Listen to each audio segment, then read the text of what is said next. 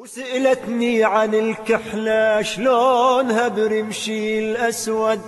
قلت هي حواجب هاي لو سيفين لو مبرد.